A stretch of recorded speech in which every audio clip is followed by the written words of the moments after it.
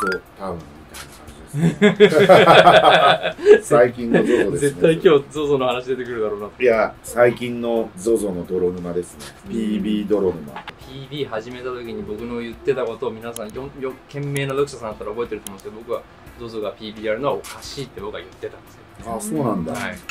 えプラットフー、ォーマーが PB をやるのは絶対おかしいと思います今の ZOZO って PB やってるのもそうなんですけど結局そのがっつり集客集められるのって何が理由かっていうとまあいっぱいブランドが集まっててそれぞれのブランドに集客力があってその集合体で集まってるわけで ZOZO 自体にものすごい魅力があるわけで、まあ、今となったら魅力があるけどわけじゃなくて本来はブランドの集客力で戦ってるわけじゃないですかはいはい。でブランドを目当てに来た人にブランドより安いスタンダードのアイテムを PB で売るってことはまあブランドさんからするとあんまり面白くない話なわけじゃないです。ZOZO が今や陥ってることって客単価減ってるんですよ。2年前とかと比べて多分4割ぐらい落ちてるんですよ客単価。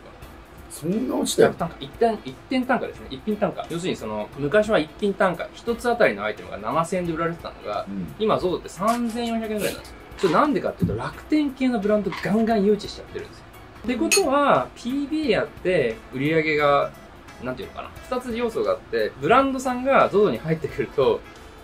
ブランドさんの集客力で ZOZO の PB が売れてっちゃってでプラス安売りブランドがガンガンガンガンランキングに乗ってるからブランドのイメージもどんどん崩れちゃって中堅から高級ブランドがそこにいる理由がなくなっちゃうんですよプラットフォーマーの PB をコンビニ全社やってる。だってコンビニはコンビニが集客してる。そうセブンイレブンに来たくて行ってるわけですよ。うまい棒を食べに買いに行ってるわけじゃないコンビニに行ってんだもん。そうなんですよ。そうさっきも言ったように、ド自体が集客源となってるわけじゃないんですよ。ブランドが集客源となってるのに、そういうプラットフォーマーの状態で PB をやっちゃうと、大概こけると僕は思ってるんですけど、もっとピンポイントにやるべきだと思います。やるんだったら。幅広げすぎちゃってて、例えば T シャツ一型、デニム一型とか、そういうレベルだったらまあ別にいいと思うんですけど、がっつり今やって、スーツやって、ドレスシャツやって、チノパンやって、シャツやって、チェックシャツやってみたいな、